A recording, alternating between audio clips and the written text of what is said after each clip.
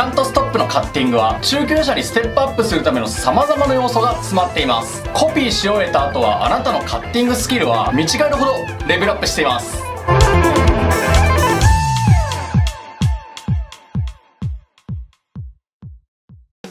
皆様こんにちは。ギター講師の豊川優也です。今日はですねなんとレッチリあります。イエイ。実はこのチャンネルで初登場レッチリことレッドホットチリペッパーズ。日本でも非常に人気のあるバンドですね。僕の世代では普段洋楽全く聴かないけどレッチリだけは聴くという人も結構多いです。ミクスチャーロックと言われるハードロックをベースにファンクやヒップホップなどをミックスしたサウンドが特徴的ですね。そしてなんといってもジョン・フルシアンテ。現代版世界三大ギタリストに挙げられるジョン・フルシアンテですが今回のキャントストップはフルシアンテの力強く骨太なカッティングのリフが最高です。ちなみにこんなリフですね。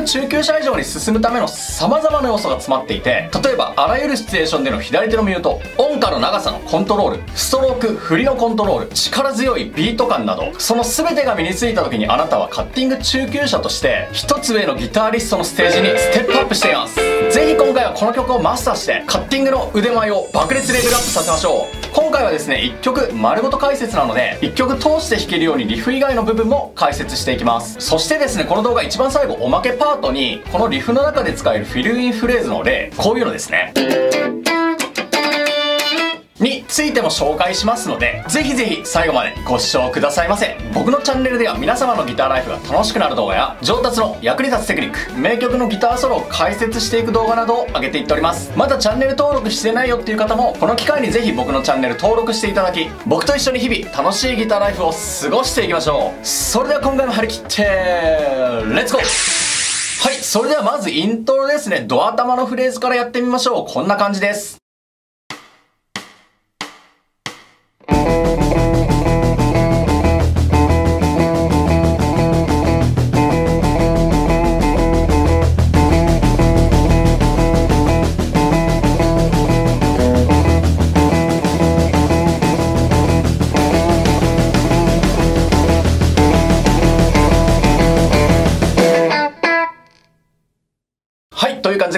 りましょう。同じリズムの繰り返しですね。ピッキングは若干優しめに当てていきます。僕はですね、空振りを入れたオルダネットピッキングで弾いています。こうですね。言葉で覚えて手を連動させるのがおすすめの方法です。ダウンをタ、アップをカ、空振りをうと発音して、タッカ、うっか、タン、タッカ、うっか、タン、タッカ、うん。タッカ、うっか、タン、タッカ、うっか、タン、タッカ、うん。タッカ、うっか、タン、タッカ、うっか、タン、タッカ、うん。というリズムですね。ゆっくりからピッキングを練習してみてください。一応これがセオリー的な弾き方。しっかりここリズムキープができるのであれば、こういう風に全部ダウンアップで弾いちゃっても問題ないと思います。で、このフレーズ、同じものを8回繰り返すのかと思いきや、5小節目だけ6弦に行くので気をつけましょう。こういう感じですね。フレーズに慣れてきたらたまにビビラートを軽く入れると、より原曲っぽいです。で、ピッキングタッチですね。7小節目まで優しめで弾いたら、8小節目はやや強く弾いて、こういう風にクレッセンドしていってメインリフに入っていきます。では次ですね。いよいよメインリフの練習いきましょう。このメインリフこそがこの曲のギターの顔です。ラーメンの麺カレーのルー寿司のネタのような部分。強くしなやかでかっこよくそして難しい。しっかりとポイントを押さえて攻略をしていきましょう。いつもよりちと早めですが今回はここで気合を入れてやっていきます。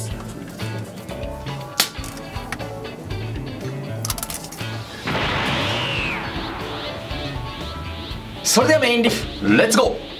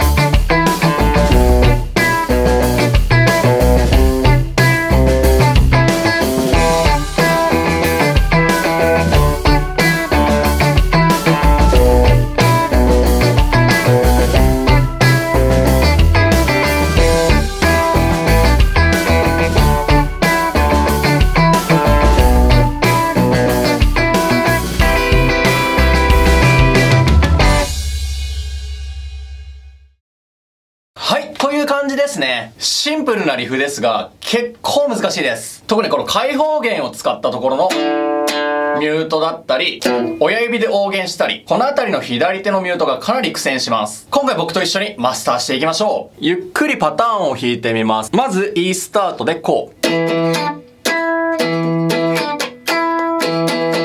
ベースを4弦開放弦 D にして、親指で6弦7フレット B を押さえて、ここのフレーズのこの部分ですね。一般的に、こういう風に1回で弾く人の方が多いんですが、原曲よーく聞くと、なんか2発入ってるっぽいんですよね。こういう感じで。なので僕は2発入れてます。まあここはですね、一般的によく弾かれてる通り、一発でも全然問題はないと思います。次は6弦8フレット C で押さえて同じように。こういう風に弾いていきましょう。では、ポイントを解説していきます。まず最初の小説。ここはまず人差し指からスタートして、中指、小指という風に移動していきます。このフレーズ全部ですね、人差し指を上までしっかり伸ばして、前弦をミュートしながら弾いていきます。中指、小指の時も常にですね、人差し指をこういう風に上までピンと伸ばして前弦ミュートしてる感じですね。そしてここの音感のポイント。ここの7フレットの部分は短く切ったのに対して、9フレット。この音はですね、次の音まで目いっぱい伸ばします。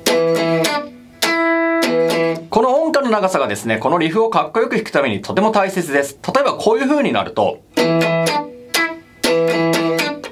なんかこれじゃない感が出ますよね。なのでここは5弦 E の音に行くまでギリギリまで伸ばすことが大切です。次にやってくる。ここの部分もそうですね。7フレットは短く、9フレットは伸ばす。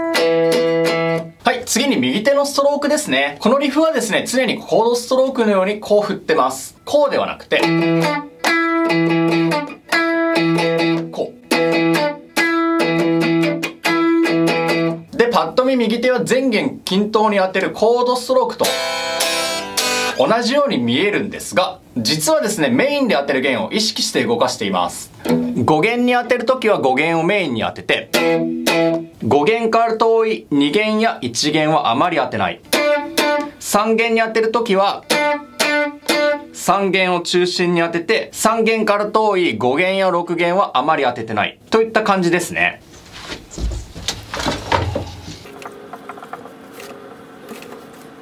図で書くとこんな感じですね。これがストロークの弧です。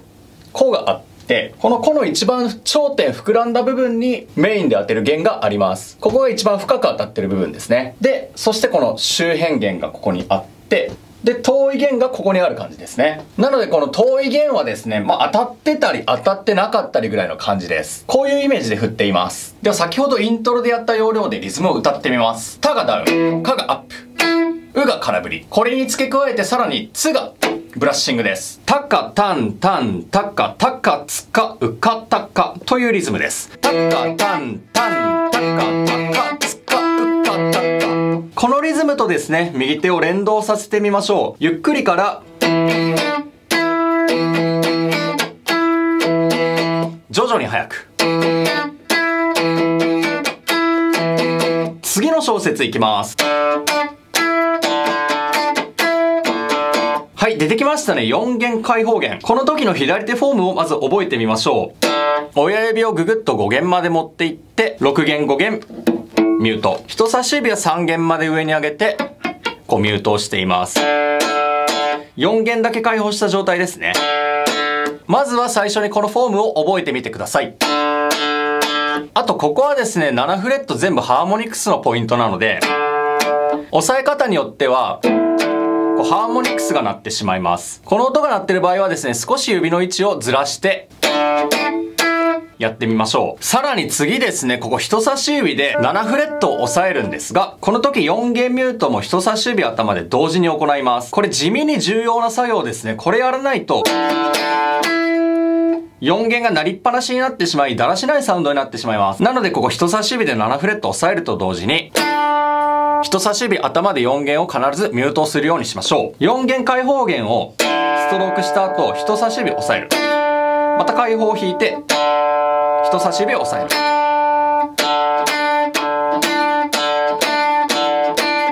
風にですね、交互に弾いてコツを掴んでみてください。これはあくまで僕のイメージなんですが、人差し指を頭でですね、少し4弦を上に押すようなイメージで行っています。この開放弦の時のミュートと、人差し指のミュート。これができてきたらパターンにしてみましょう。次いきます。はい、6弦7フレット親指での大弦ですね。これが本当に難しい。親指を押さえた時にしっかりと深めに押さえて5弦も一緒にミュートをします。大体ですね、この親指の第一関節の手前ぐらいまでの位置で深めに押さえています。さらにこの状態で人差し指も4弦までググッと伸ばして、1、2、3、4弦を全部ミュート。ここですね、親指のミュートを意識すると4弦のミュートが外れて、人差し指の4弦ミュートを意識すると、親指5弦ミュートが外れてしまいやすいです。あっちを立てればこっちが立たず状態。本当にコツをつかむまでが大変です。イメージとしてはですね、この親指と人差し指の頭がもうほとんどくっつくぐらいの位置まで近づいています。こういう状態ですね。これでそれぞれストロークをしてみてください。親指、人差し指、親指、人差し指、親指、人差し指。で、この後ですね、9フレットに行くんですが、僕はここ小指で押さえて、中指と薬指をミュートで使うことをお勧めしています。こういう感じですね。で、この次。で、ここ、先ほども言いましたが、一応原曲音源では2回当ててます。一般的にはですね、1回しか当てない人の方がほとんどのため、まあ、ここはお好きな方でいいと思います。じゃあ、ここもう1回弾いてみます。はい、次ですね。8フレット親指。ここが一番難しいです。綺麗に弾くのマジで難しいです。先ほどのこの7フレットの時の要領で親指を8フレットに移動して、こう押さえます。ギターの特性上フレットを押さえるときに右に寄せて押さえた方がいい音がしやすいんですが、このフォームで親指を右に寄せるのなかなかしんどいです。右に寄せるのを意識しすぎると、この人差し指4弦ミュートが外れたりします。かといってこれ左に寄ると、すごく変な音になってしまうので、なのでですね、極端にこう右に寄せなくてもいいので、まあ、大体8フレット上真ん中ぐらいまで寄せれるように練習してみましょう。慣れてきたら同じように弾きます。ここも一応原曲は2回当ててますね。で、ここなんですが、きつければこういう風に中指を使って6弦を押さえて、こう弾いちゃっても全然いいと思います。というのもですね、手の大きさや形状的にどうしても親指で押さえるのがきつい場合というのもあると思うんですよね。そういう場合は無理に親指で押さなくてもいいと思います。僕もデモ演奏では一応親指で弾きましたが、普段セッションなどではここ親指絶対使わないです。しんどいし。で、ここが終わったらですね、また1小節目に戻って繰り返して弾いていきます。はい、ここの部分の練習はですね、まずはベース音は移動させずに、1パターンずつリピートをして練習しましょう。すごくゆっくりのテンポから練習することが大切です。そうやって練習をしていけば、人それぞれ苦手な部分が見えてくると思います。その部分が分かったら、次はその苦手な部分を多めに練習をしましょう。それぞれのパートが綺麗に弾けてきたら、くっつけて練習をします。で、くっつけて弾いた時に、苦手な接続部分とかがあったらまたそこを練習しましょう。僕はちなみにですね、2小節目 D から3小節目 b マイナーに行くところの接続部分がうまくいかずに、ここをよく練習しました。この部分ですね。でですね、ある程度弾けるようになってきたら、音を取ってみるのがおすすめです。弾けてきたぜと思っていても、音を取って聞いてみると、うわ、ノイズ鳴りまくりだよとかね、意外とあるんですよ。で、音を取って確認して嫌な音がする部分があったら、またそこを切り取ってですね、重点的に練習をしてみてください。最終的にですね、テンポ93で安定して弾ければ完成です。ではこのリフ、もう一度ゆっくり弾いてみます。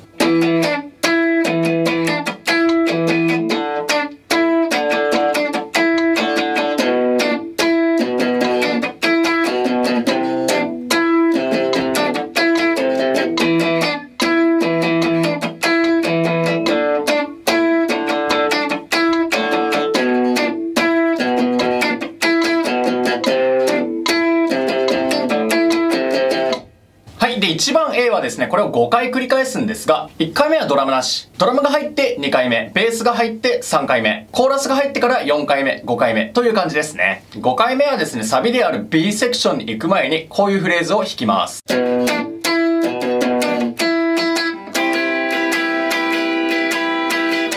C メジャー7ですね。リズムはジャカウッカジャン、ジャカウッカジャン、ジャカつく。ちなみに親指で5弦6弦はミュートをしています。それと3回目4回目も音源をよく聞くと C ベースの部分のパターンで微妙に違うことを弾いています。4回目はこう。まあ一応音源ではこう弾いていますが、この辺りはですね、あまり気にせずに自由に弾いていいと思います。動画の最後おまけパートでやりますが、違うフィルをここに持ってくるのもありですね。という感じでですね、ここまでがメインリフの解説ですね。じゃあこの一番ボリュームの重いリフの解説が終わったので、ここいらでちょっとした休憩がてら曲の構成について解説をしていきます。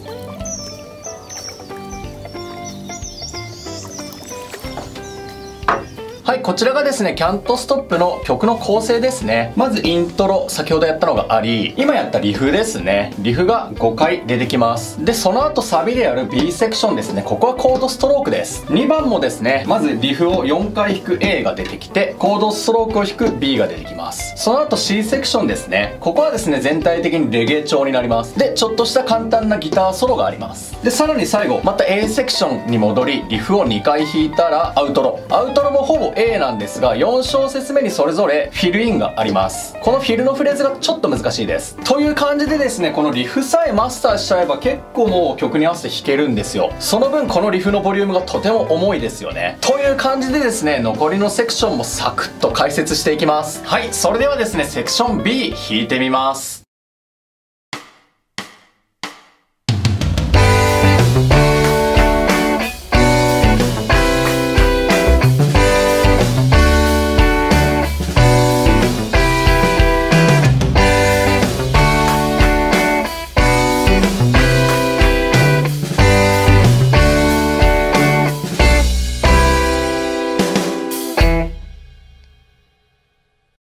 こんな感じですね。コードストロークのセクションです。リフが弾けた方ならもうここはそんなに難しくないですね。それぞれ8分音符のシンコペーションで次のコードに移っていく感じです。ジャン、ガッツ、ジャン、ジャン、ジャン、ツ。こういうリズムを繰り返し、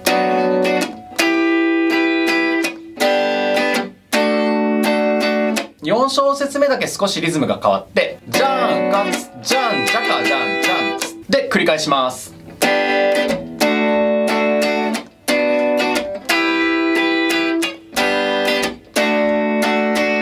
最後は Bm7 のこういう押さえ方から C メジャー7に行きます。はい、ここのポイントはですね、D と Bm。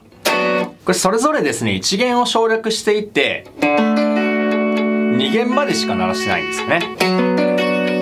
こういう風に1弦をミュートをしています。それぞれですね、この人差し指の角度を微妙に調節して、ミュートをする感じですね。まあ、実際に一元になっちゃってもそこまで問題はないです。で、一応原曲はこういうリズムなんですが、実際にライブなどで演奏するときは16分音符をもう少し入れて、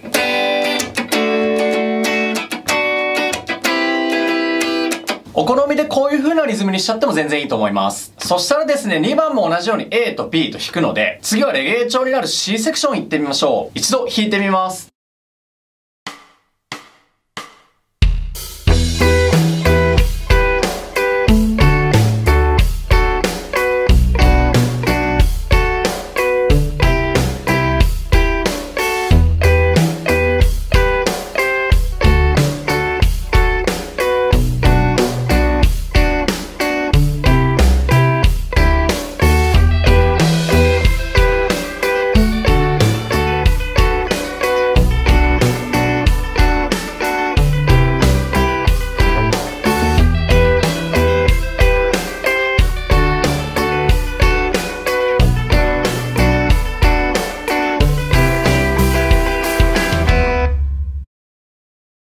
曲の雰囲気がガラッと変わる C セクションですね。レゲエなビートになり裏打ちでこういう風に弾いていきます。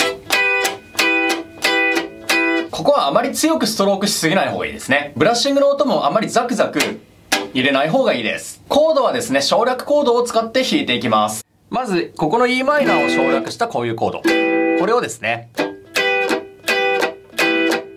こう弾いていったら、D。この D を省略したこういうコード。これを弾いていって、4拍目で小指を2弦12フレットにつけてこう。次はですね、b マイナーの省略コード。これをですね、1拍目2拍目こう弾いたら、3拍目4拍目は上がっていきます。次はですね、この C の省略コード。これを弾いて、4拍目に D に行く。で、e マイナーに戻ったら、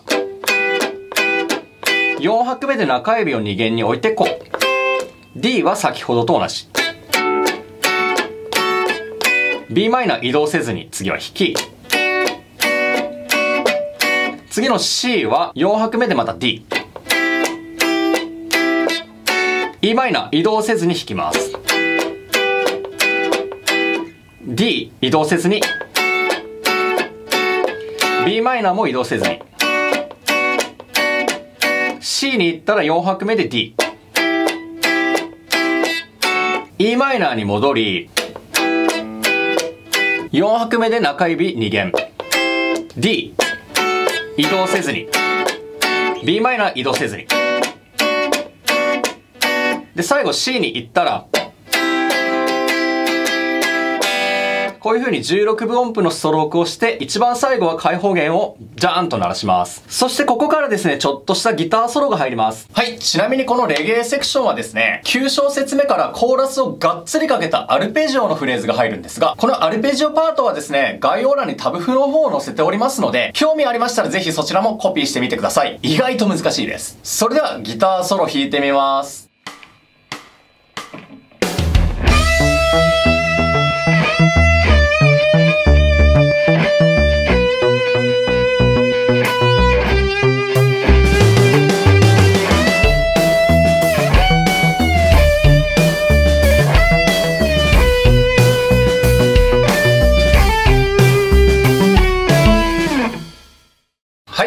感じのシンプルなギターソロですね。ここはですね、歪みを思いっきりかけて弾きましょう。で、それぞれ音符を弾くときは1本だけをこう、弾くのではなく、余分な弦をミュートしてチョップを入れながら弾いていきます。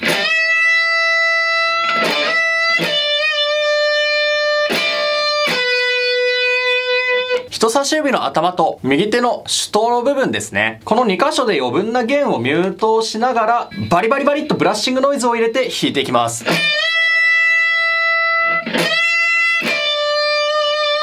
で、ここの部分、デモ演奏ではビブラートを入れながら弾きましたが、ここ揺らさずに弾いた方が原曲っぽいニュアンスになる気もします。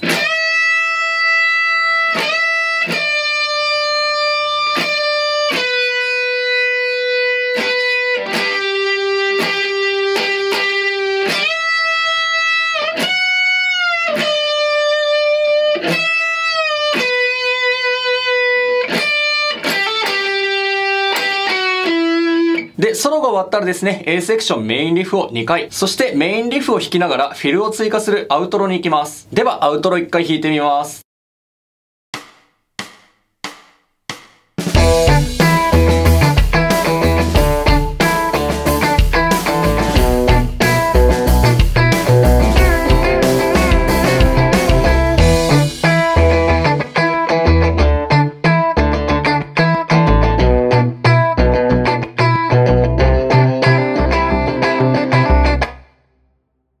はい、ここの部分はですね、リフを2回繰り返すんですが、それぞれ4小節目にフィルが入りますね。それぞれのフィルの部分見ていきましょう。はい、まず最初のフィルですね。チョーキングを入れてこう弾きます。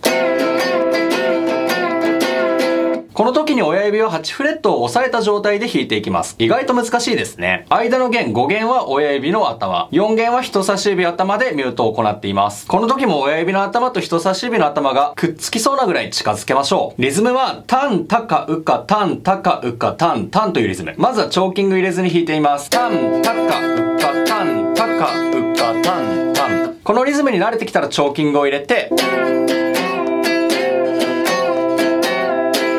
こう弾いてみましょう。次のフィル行きましょう。この曲の一番最後ですね。こういうフレーズです。まず6弦3弦と今まで通り、こう弾いたらプリングで、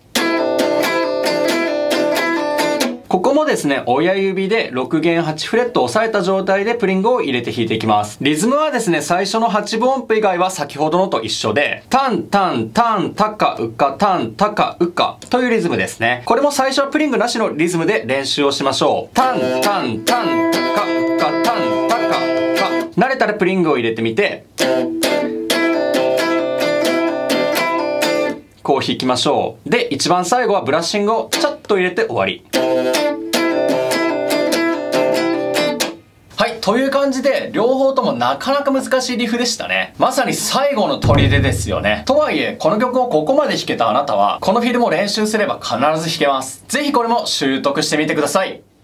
はい、という感じでですね、今回のキャントストップの解説はここまでです。なかなか難しいリフですが、弾けるようになってくると最高に楽しいリフです。今回の動画でコツをつかんできたら、ぜひ原曲に合わせて弾いてみてください。レッチリといえば今度いいファズを手に入れたら、ダニーカリフォルニアやろうと思ってます。あの曲の力強いギターソロはマジ最高ですね。そしてこのチャンネルは今までギターソロに特化して、名曲ギターソロ解説を何本も撮ってきたんですが、今年はさらにですね、それに追加して、名曲のカッティングに特化した動画名曲カッティング解説シリーズもやっていこうと思いますのでお見逃しのないようにぜひこちらのチャンネル登録していただき今後の動画を楽しみにお待ちくださいませ。また今回の動画が楽しかった役に立ったという方はグッドボタンで応援していただけると大変励みになります。Twitter 等の SNS はですね概要欄にリンクの方貼っておりますので興味ありましたらフォローの方をよろしくお願いします。はいそれではですねおまけパートに移っていきたいと思います。この曲のリフで使えるフィルインフレーズについていくつかやっていきます。フィルインはですねドラムのタム回しタカタカタカトンじゃーんみたいな、あれと同じようなものなので、大体ですね、8小節や4小節の区切りで入れることが多いです。なのでですね、このリフの4小節目、C のパターンのところで使えるものをやっていきましょう。はい、この曲は e マイナーのキーなので、ここのペンタトニックセカンドポジション。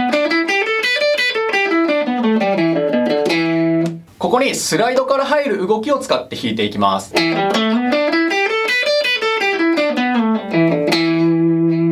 の動きですね。まずハンマリング。ここと、ここ。これ非常に使えるハンマリングポジションなんですよ。これを使って、こういうフレーズをつけてみます。次にダブルストップ。ここに、非常に使えるダブルストップがあります。このダブルストップから、このスライドに、つないで、こういうのもいいですね。で、今使ったこのスライドの1オクターブ上。ここですね。これも同じようなサウンドのスライドなので、これを使って、こういうフレーズを作ってみましょう。最後にオクターブ奏法ですね。3弦7フレットと1弦10フレットの、これから2フレット右へ。これが非常に使えます。さらに3連を入れて、こう弾くとかなりファンキーですよね。こういう感じでですね、何度も繰り返すこのリフの中でたまにパッとフィルインフレーズを入れてみると大変楽しいです。ぜひ参考にしてみてください。それでは最後の最後までこの動画ご視聴いただきまして本当にありがとうございました。また別の動画でお会いしましょう。バイバイ。